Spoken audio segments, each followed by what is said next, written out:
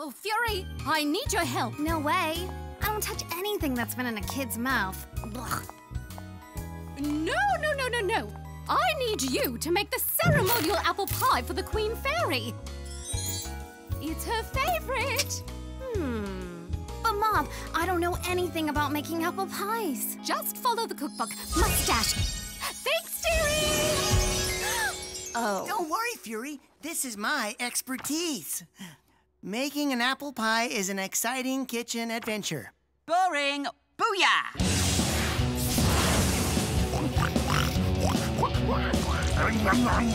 Hey, get away from my apples! Shoo! Shoo! Shoo! Oh no, Trafalgar! How can I bake an apple pie without apples? Hmm.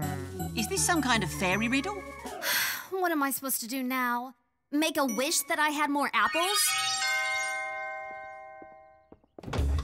Fairy tale wish come true delivery. Someone wish for apples. Oh, Courtney, you are just in time. I'll take a pie's worth. Enchanted or regular. Ooh, well, it's for the fairy queen, so I guess regular. No, didn't be enchanted. Enchanted, no.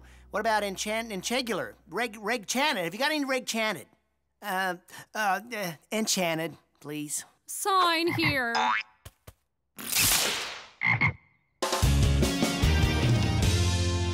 Thanks, Jeremiah. Those apples got here just in time. Now for the finishing touch. Wow, now that's a pie fit for a fairy queen. Welcome, Your Majesty, to Fairy Tale Estates. We are most honored to have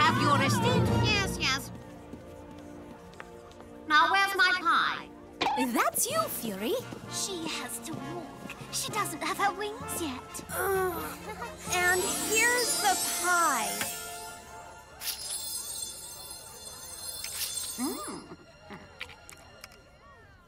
I proclaim this pie to be.